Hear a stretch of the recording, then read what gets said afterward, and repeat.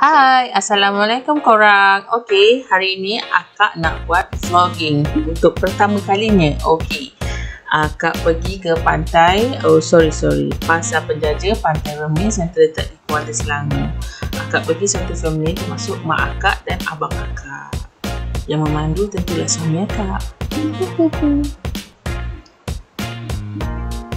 Okey, pasar ni best ya sebab dia terletak sebelah pantai uh, ikan-ikan dia memang segar. Bukan sorry bukan ikan eh. lauk-lauk dia memang segar.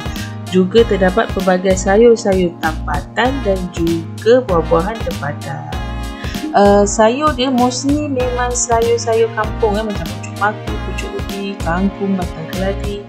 Sayur sawi semua tu jangan kau minta dek kat sini. Memang tak dok lah situ dia Okay, actually masa ni memang kita orang kelang kabut Masa ni akak tengah cari pagi dengan husband akak Mak akak sampai pasal ni Dia macam dapat saka eh.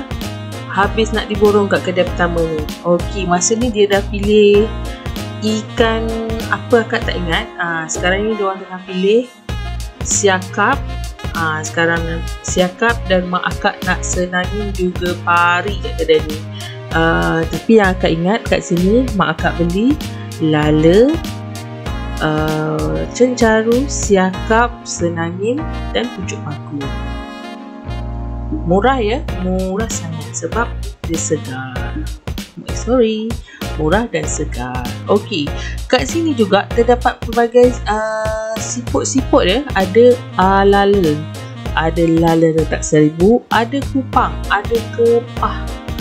Nah, ini buah-buahan tempatan dia salak, mangga, tangerine, jambu air, anggur, pisang dan longan.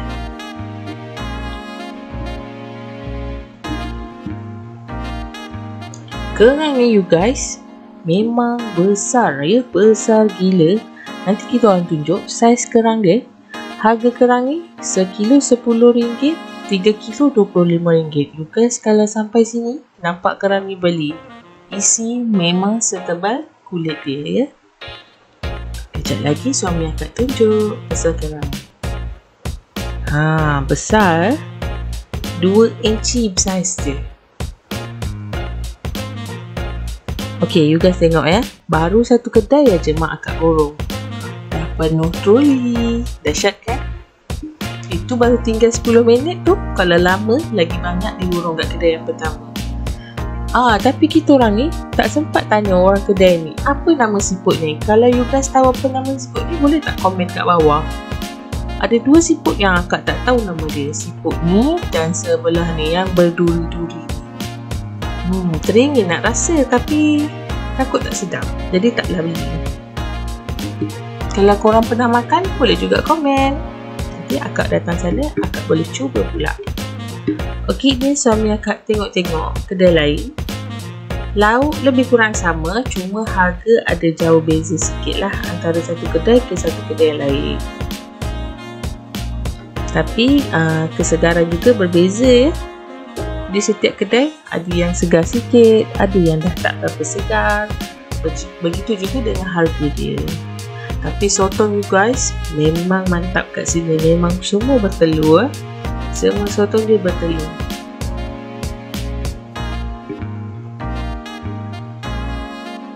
Ikan kering juga ada kat pasar ni. Macam-macam ikan kering ada. Ikan pari kering, ikan kering keropok, sepat, tamban, cencaru kering pun ada. Okey, ini antara kedai favourite akak. Akak panggil kedai ni cannot everything. Sebab seller dia pandai cakap tu je orang cakap. Uh, cannot maksudnya kita tak nak. Everything maksudnya kita setuju nak bayar harga tu. Uh, kat kedai ni ada drama sebenarnya. Kita orang beli ikan gelama, ikan cencaru dan ikan kembung. Suruh dia siang, lepas tu akak lupa nak ambil. Tapi dah bayar. So nak patah balik tu memang taklah kira halal aja lah sebab salah kita sebab mak akak sibuk nak pilih sayur. Sampai akak terlupa yang akak sebenarnya duduk kat kedai tu tengah tunggu lauk yang di siang. Apa nak buat dah lupa. Redo je lah kan. Boleh katakan ini kedai terakhir yang kita orang beli lauk. Uh, kita orang beli lagi cencaru eh sebab uh, kedai ni cencaru dia lebih segar lepas tu abang akak request dia nak makan cencaru bakar. So kita orang beli cencaru kat dia ni. Akak ambil ikan kembung untuk buat laksa pining menu resepi dia semua ada dalam youtube akak. Korang tinggal google dan cari